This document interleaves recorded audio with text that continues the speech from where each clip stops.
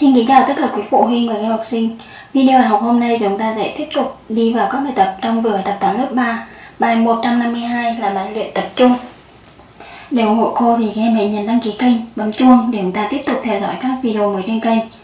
Bây giờ chúng ta cùng vào bài số 1, yêu cầu các em đặt tính đôi tính 4182. Các em nhân với 4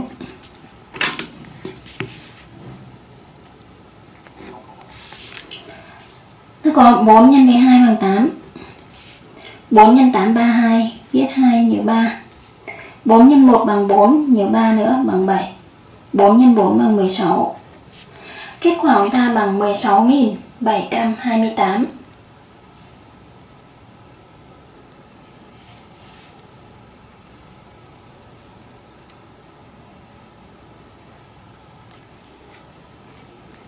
Sang gì tiếp theo 16.728 kem chia 4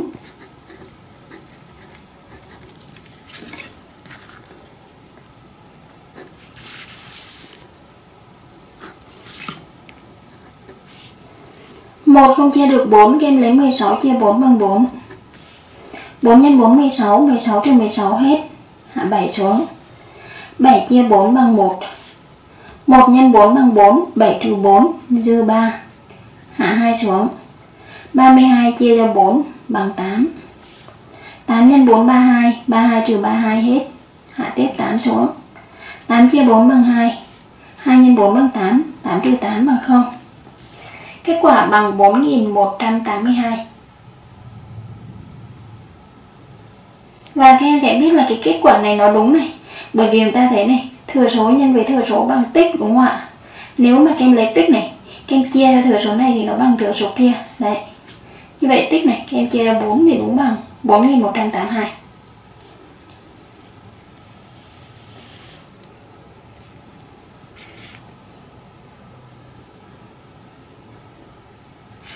Tiếp theo 62.146 các em chia cho 3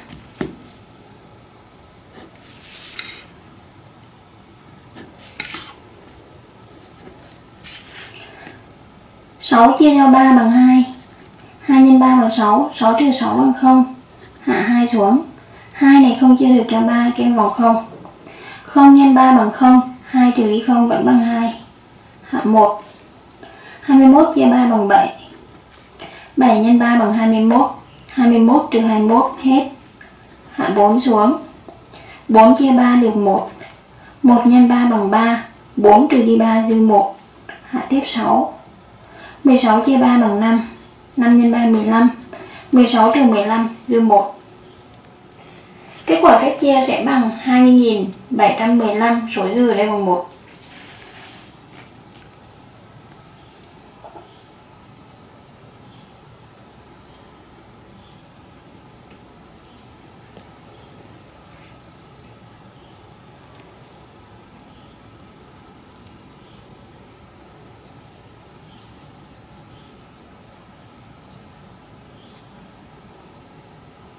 Chuyển sang bài tập số 2 Nhà trường mua 235 hộp bánh, Mỗi hộp bánh có 6 cái bánh. Số bánh này được đem chế cho học sinh. Mỗi học sinh có hai cái bánh. Hỏi tất cả có bao nhiêu học sinh được chia bánh. Như vậy, trước tiên các em sẽ tìm số cái bánh. Số cái bánh nhé chứ không phải hộp bánh đâu. Số cái bánh nhà trường đã mua.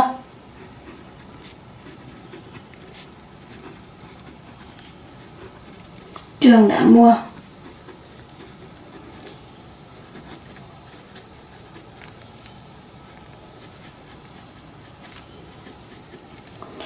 có 35 hộp.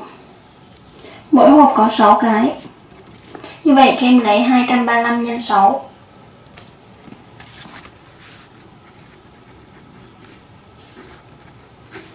6 x 5 30 biết không nhớ 3 6 x 3 18 nhớ 3 21 1 nhớ 2 6 x 2 12 nhớ 2 14 Vậy phải bằng 1410 cái bánh.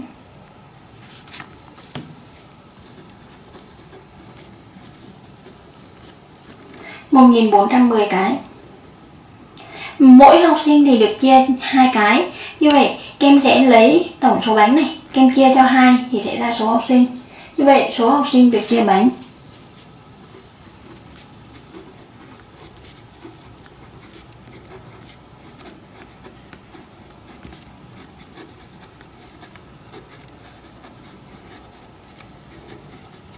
Kem sẽ lấy 4110 em chia cho hai,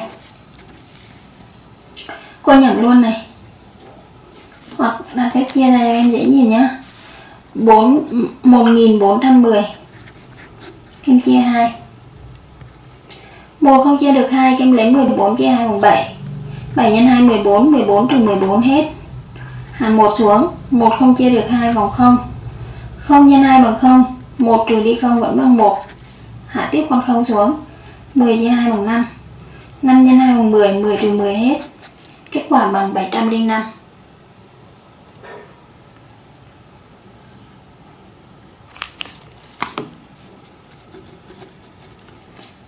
Như vậy, sẽ có 705 học sinh được chia bánh. Đáp số 705 học sinh.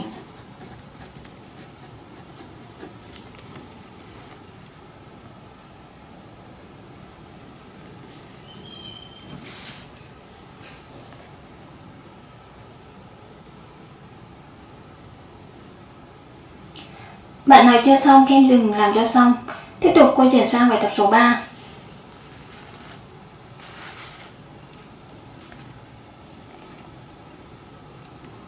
Một hình chữ nhật có chiều dài 36cm, chiều rộng bằng 1 phần 4 của chiều dài, tức là chiều dài này kem chia thành 4 phần ra, thì chiều rộng là một phần, đúng không? Muốn tìm diện tích thì trước tiên kem phải tìm chiều rộng hình chữ nhật là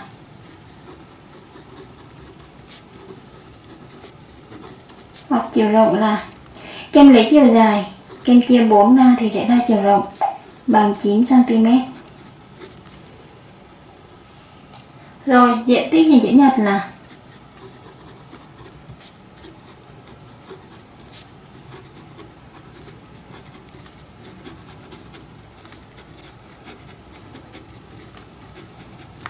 kem lấy chiều dài nhân với chiều rộng thì sẽ bằng diện tích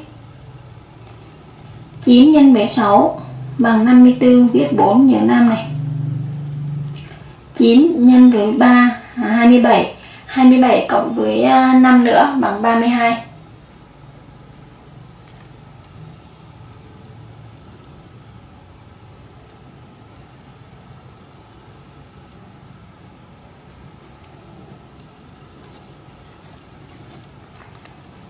Kết quả của ta sẽ bằng 324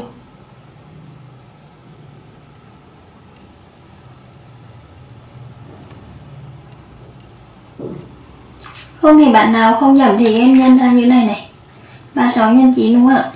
Đây 9 nhân 6 54 đúng không ạ? Viết 4 nhớ 5 này. 9 nhân về 3 27 này. 27 cộng thêm 5 nữa bằng 32 này. Như vậy kết quả bằng 324 324 cm vuông các em. Đáp số. 324 cm vuông.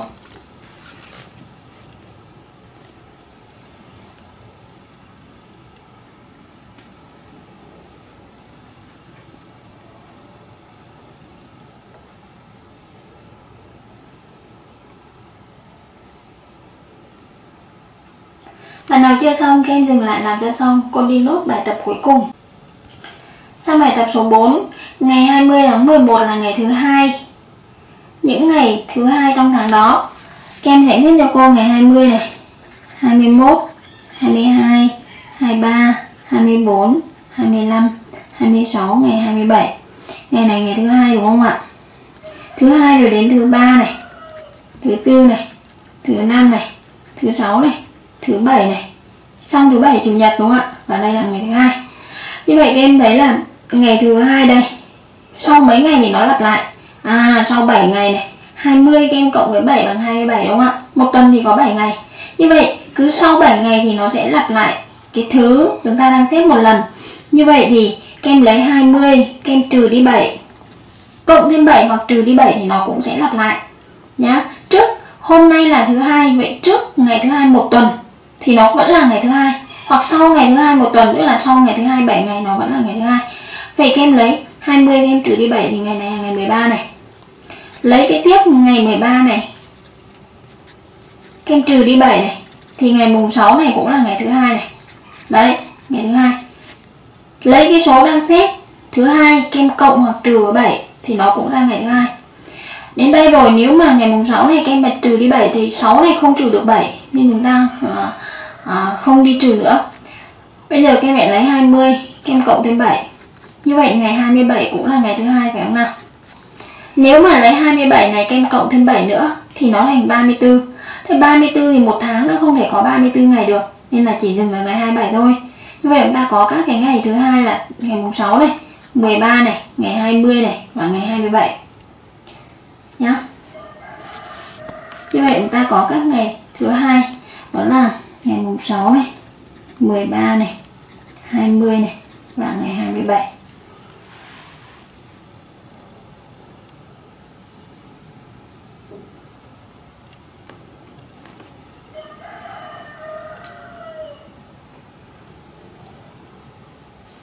Trên đây cô và các em đã vừa hoàn thành xong các bài tập của bài 152 trong vừa bài tập toán lớp 3. Để ủng hộ cho cô thì các em hãy nhớ nhấn đăng ký kênh, bấm chuông và chia sẻ video giúp cô nhé. Cảm ơn tất cả quý phụ huynh, các em học sinh đã dành thời gian theo dõi video này. Hẹn gặp lại tất cả quý phụ huynh và các em học sinh ở các bài học tiếp theo.